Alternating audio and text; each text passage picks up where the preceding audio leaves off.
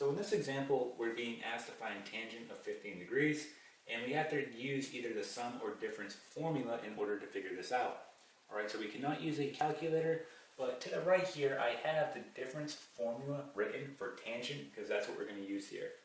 So for example, I have tangent of 15 degrees. What I wanna do here is I wanna think about how I can rewrite this. And I can do that the following way. I can do tangent of 45 degrees minus 30 degrees, okay? That is tangent of 15 degrees, but we just rewrote it, and now it's in the difference formula, right? We're in the right format, so I can go ahead and expand it out. Remember, this is gonna be my u, and this is my v, right? So we're gonna go ahead and rewrite it like this. So I have tangent u, which is again 45 degrees, and we have minus tangent of 30 degrees,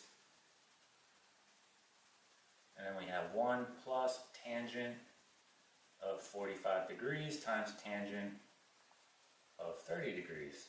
Okay? So we need to determine what these values are. So again, you need to use the unit circle in order to do this. So we know at 45 degrees, we're going to have the following x and y values. That's going to be this. We're going to have the square root of 2 all over 2 and the square root of 2 all over 2. Again, this is x, this is y. And we know that tangent is y over x, right? So if I do y over x here, that's simply just going to give me 1, right? So tangent of 45 degrees is 1, right? So we get 1, and we get minus. Now what are my x and y values at 30 degrees? So again, let's go ahead and write that here. At 30 degrees, we're going to have the following. We get the square root of 3 all over 2 and a half. Again, these are coming right off the unit circle, okay? So again, tangent is y over x, so I have this. I have a half over the square root of 3 all over 2. So this goes back to keep, change, flip when we're dividing fractions. So I have a half divided by the square root of 3 over 2. So I'm going to keep my first fraction. I'm going to change to multiplication and then I'm going to flip. So it's 2 over the square root of 3. The 2's cancel and you get 1 over the square root of 3. And again, we don't want to leave square roots in the denominator, so we have to rationalize. So we multiply both the denominator and numerator by the square root of 3, and we're left with the square root of 3 all over 3. That is what tangent of 30 degrees is. Okay? So now we have all the information we need. We can work on the denominator now. So let's go ahead and just erase this. And working on the denominator, we're going to have the following. We get 1 plus tangent of 45, which we know is just going to be 1. So I'm not going to write it here because 1 times anything is just always going to be itself. So I'm not going to put 1 here, but we know that tangent of 30 degrees, right, is going to be the square root of 3 all over 3.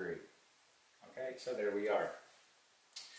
So now, we, again, we don't want to have square roots in our denominator, so we have to get rid of that. So what we're going to do here is we're going to multiply by the conjugate, which is 1 minus the square root of 3 all 3.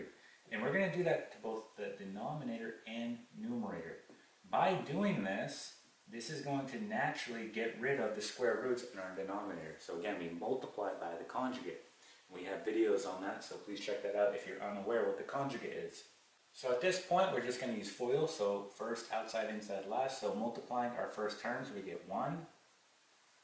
Our outside and inside, you can see that they naturally cancel. That's what we want. And then just doing our last terms, right, we're going to get minus square root of 3 times the square root of 3 is just 3. And then 3 times 3 is 9. Right, we know that 3 over 9 is just a third, so we get 1 minus a third, which we know is actually 2 over 3, right? So that's what's on our denominator. So I'm going to go ahead and record that. I'm just going to put d equals 2 over 3. So we just know, let's work on the numerator now. So doing first, we get 1 times 1, which is 1, okay? Outside, we get the negative square root of 3 all over 3. Inside, we get negative square root of 3 all over 3. And then last, we're going to get positive, same thing here, we're going to get 3 over 9, which we know is a third. So 1 over 3. So let's work and just combine our terms now. So here and here. And we're also going to combine these right here. So we're going to do this in two different parts. So let's do 1 plus a third. So again, that's 1 over 1 plus 1 over 3 right? Multiply the denominators, and then you can see you multiply this by 3, so 3 times 1 is 3. You multiply this by 1, so 1 times 1 is 1, so it's going to be 4 over 3. So we get 4 over 3, and then just combining these two terms, we're going to get negative 2 square root of 3 all over 3. So you can see here that my two terms are sharing the same denominator, so we can rewrite it the following way. So I'm going to put numerator, okay, and we're going to rewrite it like this, 4 minus 2 square root of 3 all over 3. Okay, we can rewrite it like that.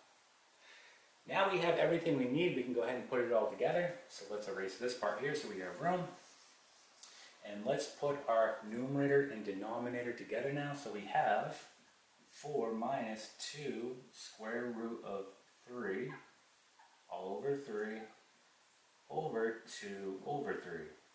So again, this goes back to keep, change, and flip, right? Because I have two fractions that I'm dividing. Okay, this top part is my first fraction, the bottom part is my second fraction, right? So I keep this, I change this to multiplication. So I'm to get rid of this. So we change that to multiplication and then we flip. So it's really 3 over 2. Okay? And you can see here that the 3's, well those will cancel out, right? And then we can see here that now that we're going to rewrite it as 4 minus 2 square root of 3 all over 2. And just simplifying this even further, we can break it apart. It's really 4 over 2 minus 2 square root of 3 all over 2, and then our final answer can be written like this. We get 4 divided by 2, which is 2, minus the 2's cancel, right? We just get the square root of 3. So 2 minus the square root of 3, that is going to be our final answer, right? So that is the value of tangent of 15 degrees. Again, we just did that without a calculator by using the difference formula for tangent. Okay, and that is it.